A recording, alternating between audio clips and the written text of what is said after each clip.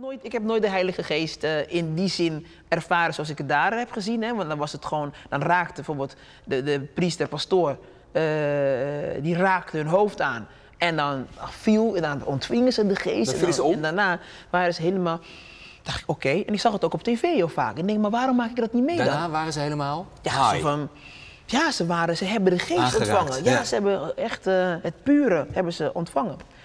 Toen dacht ik, nou, ik kan niet buiten blijven. Dus ik ging toen ook naar voren, netjes zo. Ik denk, nou, gaan we kijken wat er gebeurt. Ik was zo bang dat het niet ging En gebeuren. wat gebeurde er?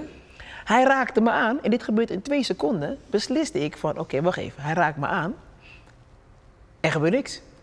Maar als ik nu hier blijf staan, dan ben ik waarschijnlijk bij die andere club. Als je niet hoort bij Jezus, dan hoor je bij die andere club. Dus jij dacht, ik laat me vallen. Ik laat me vallen. En hij ik, liet me, ik liet me gaan en ik ging gewoon. En ik liet zo, ik bleef een paar, gewoon een paar seconden zo op de grond liggen. En dan maak ik mijn ogen open zo. En toen stond ik op. En ik, ze trappen erin, ze trappen erin. En toen stond ik op. Maar toen dacht ik, oké, dat doen we niet nog een keer. Nee, nee.